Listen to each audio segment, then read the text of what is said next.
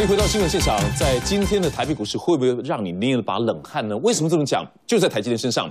昨天在我们这个时间点里头的话，包含在伟杰，包含在我们也特别提出来，台积电两大重点：第一个挖矿机是不是？第二个苹果本身的部分的话，果然昨天所看到在营收数字部分的话，获利程度前一季还不错，接下来开始有些衰退情况之下，昨天在台积电的 ADR 这个表现里头，变成是一个重挫，也冲击到了苹果本身。昨天台积电 ADR 部分这个跌幅达到了五点六个百分点，非常非常沉重了哈。那么前一天的大涨到今天又该如何做反应？对于台北股市的话，会不会造成一个压抑性的力道？马上为你邀请的是伟杰，伟杰你好。水文哥早，各位观众朋友，大家早安。是维杰要先给你按一个赞呢哈。那么最近所看到打开报纸的都是台积电利多，你是算是比较这里头独排众议了哈。对于这个台积电看法当中的话，报纸是一个谨慎保守态度。果然，就算盘中大涨，哎，这个观察还是一个重点哈。那问题来了，今天的影响性有多少？从美股帮我们掌握一下。好，我们现在看一下美国股市的一个视觉图了哈。那大家可以看到哈，最鲜红的就是跌幅越重。板块越大，代表占全值越重。大家看到就是哦，苹果跌了快三趴，我天哪！哈，这个是科技类股的一个回跌然后那当然，其实在亚马逊啊、Google 或是脸书的部分，其实表现都还相对比较强劲。只有苹果哈稍微比较弱势一点。那银行板块呢，也呃稍微反弹了一下下哈。那所以其实从整个美国股市的这个表现看起来，它大概就是一个涨跌互见。过去呢强势哦，在走高的有点回档的压力。过去呢，弱势走低的，哎，开始有点反弹的力道哦，所以其实最近的美国股市它是呈现一个哦强弱分野，然后一个涨跌互见、震荡整理的一个格局。好，那我们来看过去这一个礼拜当中，美国股市的反弹，整个投资人的情绪调查的反应是怎么样哦？这个是统计到这个十八号哦，那这个是有点时间性的落差，那没关系，我们要看到，哎，其实你看，只要美股一出现反弹，哎，看熊市的哈。就开始减少，哦，是减少了十三点五个百分点，看多的就增加了十一点七个百分点，所以总计哦，在整个看多头美股能够持续走多的人，中性偏多是来到了将近七成以上。那我们曾经讲过哦，这样子的一个情绪调查，你要反过来想。当投资人的情绪都开始兴奋，觉得美股又有机会的时候，你反而要反市场去做思考，对不对？昨天美国股市其实就是震荡，你不要以为美国股市道琼现在跌个一两一百多点就算是重挫，没有，你去看一下它的位阶，它指数在两万四千多点以上，所以相对来讲它的幅度大概就是零点五趴附近，哦，所以其实还 OK。昨天跌幅最重的在费城半导体指数重挫了有超过四个百分点，哈。那费城半导体指数呢？你看带出了一个空方的一个缺口，然后往下即将要去做破低的一个发展了哈。那么过去呢，其实在费半指数的这个三月底的三月二十二号开始，它就出现了一个空方的缺口，没有进行回补，一波下杀之后反弹也没有反弹到三月二十二号的这个空方缺口位置。可是相对于道琼的回补，跟纳斯达克科技类股指数也接近到这个缺口位置的这个状况来比较。费城半导体指数其实相对偏弱，为什么会偏弱？我们现在看一下昨天的台积电 ADR 的 K 线图哈。ADR 呢，其实哎，我我们说到这个地方的话，我们刚刚把线图先再抓出来看一下下啊。其实我们比较担心的地方的话，其实在这一个地方的话，颈线的位置哦，我们同样这样做这样的叮咛哈，包含台积电那一天，我们前一天刚好也做出了叮咛，没错，颈线位置在这边的话，哎，今天晚上是重点的，会不会跌破？一旦跌破的话，这里头上面全部变成是一个重要的套牢区。好，我想苏远哥又画到一个重点，我们刚刚其实在这边哈。年线在这里是哦，年线已经即将要来回测了哈。那费半指数基本上半导体它是代表一个科技产业未来的一个领先指标。那半导体的指数竟然都是走弱，那你会期待未来科技类股的成长力道会开始增强吗？我想先打个问号去做观察。那么当然我们就来看一下这个费半指数当中的一些比较重要性的哦个股的表现。当然台积电的 ADR。昨天是一度盘中重挫超过六个百分点哈，这看到这张图其实很紧张哎，对，台积电哎，很恐怖哈，很恐怖啊。这个哈，我记得哈，上上一回我们在节目当中提到的时候，跟大家讲是台积电的 ADR 它是出现了一个完美的而且爆大量，对哈，下杀有量，下杀有量，这个很恐怖，但是也代表着其实有人在这边哦稍微有点止稳的力道。那简单跟大家讲，现在台积电的 ADR 跌到这边，大家也可以不用紧张，因为它已经回到前一波起涨点的附近。已经有一点点支撑，而且它的跌幅满足哈是已经来到完整的一个位置哈。我们跌幅满足测算已经差一点点，它已经完成了哈。所以其实在大跌的过程当中，一次性的修正满足之后，它就是震荡打底哈。那爆大量代表人觉得说，哎，台积电它还是 OK 啦。所以今天的现货反应呢？有人稍微去短呃，那如果是台积电的这个股票的一个反应哦，在台北股市当中开低是必然，但会不会像这个 ADR 跌幅这么重哈？我倒觉得还好了哈，因为毕竟在台积电的昨天的涨势怎么解释呢？望其昨天哦，大概就是还是有外资去押宝台积电哦，法说一天赚两亿。对哈，我想其实这样子的过程，大家就会哦，你去看一下台积电为什么过去利多都不涨，这其实有鬼嘛。那利多不涨，然后它的利多消息放出来的时候，外资不断的在偷偷调节的。我们过去在节目当中一直有帮大家掌握到这个重点，所以其实大跌也没什么意外，就是刚好它法说会说的不好嘛。那我们昨天在节目当中特别强调一个重点。即便台积电的法说，它是没有什么太大的利多或利空的消息，没消息就是坏消息，它股价还是走弱啊。那更何况他昨天法说会直接释出就是一个负面的一个展望，那当然股价下跌是还蛮正常。那今天台北股市当然会面临到台积电回档的一个压力，但是会不会像？美国股市跌那么重，我倒认为哦不用那么紧张了。好，倒是伟杰刚刚讲的一个重点哦，这个台积电的部分的话，这看起来昨天是大跌，看起来现行 ADR 的表现相对弱势哦。可是呢，今天至少伟杰刚刚说的哦，就算是利空反应的话，可能不至于做出这样全然的一个反应了哈。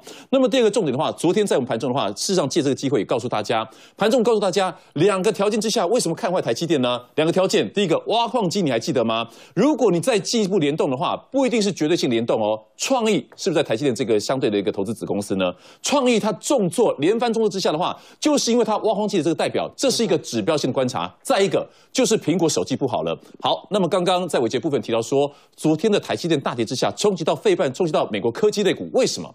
半导体指数是在科技类股当中的最上游，另外卖。贵州海料料了哈，就是整个下游的部分的话，可能都不理想之下，那么这个利空反应可能还进一步需要时间了。对啊，我想是不只是台积电的 ADR 点，你看 AMD 这种晶片厂，你看都已经跌破大颈线，这是周 K 线哈。那我们来看下一张，你看一下哈，在这个美光有没有也是假突破之后也跌破颈线？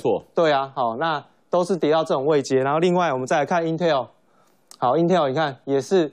带了一个跳空缺口，还也做出了一个短线的假突破。那另外再看一下高通，哦，最近硬彩的部分也是一样，对不对？哦，在守颈线了，但是呢，也是跌破，这个都有压力，几乎都跌，都已经做出一个简单的短线头部了。哈，那另外在这个高通的部分，我们也来看一下，你看高通跌得更夸张，跌到大颈线附近，还给你用跳空跌破。那这个其实就很妙。等一下我们在新闻当中会帮大家掌握一下高通的重挫，其实跟最近。川普制裁中兴通讯有很大很大的关系。我们可以稍微等一下，我们来好中心的部分哈。那么这开始的话，刚刚看那个高通，相对的，你就要想到说，联发科有没有相对可能受益的机会？就算有很大吗？等一下也请伟杰来帮我们掌握一下。好，一连串里头的话，我们在新闻面重点部分，我们从这题材性出发哈。因为个别股题材部分的话，从这个会比较少一些些。把握时间，我们现在看一下台积电第二季的展望当中的话，比预期来的差，那么又该如何反应？今天一天的反应会够吗？第二个。资外资券的部分，本月的净汇出又是十亿的美元。前几天我才跟大家来报道了，从这段时间以来的话，这个卖出已经是去年买超以来已经几乎是卖光光了。那么亚洲市场当中的话，这个汇出打算里头的话，相对弱的地方就是在外资券在台湾卖的是比较多了哈。再看到 IHS 的市情，面板大厂本季要转亏了，已经达到压力成本要转亏了。那么股价表现看起来撑着，会有进一步的压力吗？我们放了一个利多，这个利多在哪里？是在这个相关的钢铁族群身上，在也是这两天的话，也都有叮咛了哈。铝、镍铜价奔涨之下，欧亚股市又是高歌的，您的观察呢？好，那台积电的这个第二季的营收展望被下调，我们就直接看一下图卡了哈。那简单的看一下它的整个预估的值，然后它是用美金来做计价的话，哦，是比过去的同期哈稍微成长，没有错，美元计价它是成长，整体来说就新台币也是成长，但是它的。比之前第一季所试出的猜测的数字还来的低一些哈，那所以其实在整个第二季的预估只是往全面往下修，而且呢，在整个半导体产业，它的看法也是哦，它的预期也是比第一季哦没有那么乐观，也是往下修。晶圆代工也是往下修。那么第一季原先这个台积电，它预估自己今年的成长是有机会达到十个百分点到十五个百分点。昨天在法说会当中也直接下调到只剩下百分之十。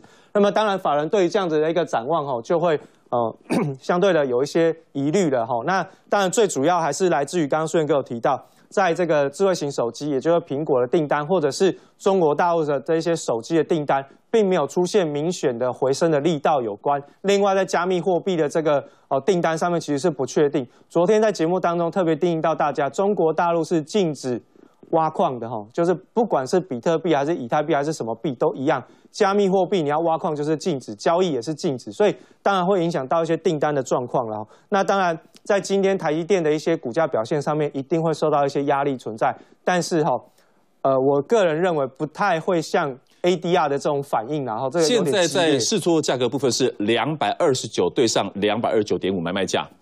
我想其实这样子看起来，呃，还跌幅还是蛮重的哈。那大概五。如果是真的按照我们所去技术分析面所去算的测幅满足，其实台积电的跌幅会直接跌破年线。但是呢，因为台积电在台北股市当中是占有一个全值的地位。那刚刚苏元哥有提到，虽然说外资在这个月份是呈现净汇出十亿美金，但是昨天我们的金管会主委有出来喊话了哈，这个万点是常态。换句话说，他告诉各位，万点就是他心目当中的一个地板支撑位置。好，那再加上。现在五二零即将要来了，那再来今年的选举应该已经开始起跑了啦哈，所以其实，在这样子的一个政策性的主导的一个过程当中，我认为台北股市的一个股价指数哦了不起，就是回到二月二十一号的这个多方缺口去回测一个支撑啦，不至于会说真的有那么。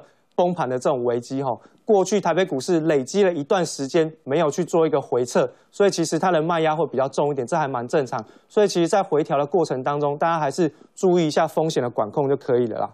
好，那么在这个可以看到铝镍价铜的部分的话，这个相对题材能够变成短线支撑力量吗？好像其实铝镍铝镍铜的这个报价上扬，哦，简单的跟各位报告一个结论，就是这个这一波的一个。这个价格上涨潮其实是来自于嘎空的力道。什么叫嘎空？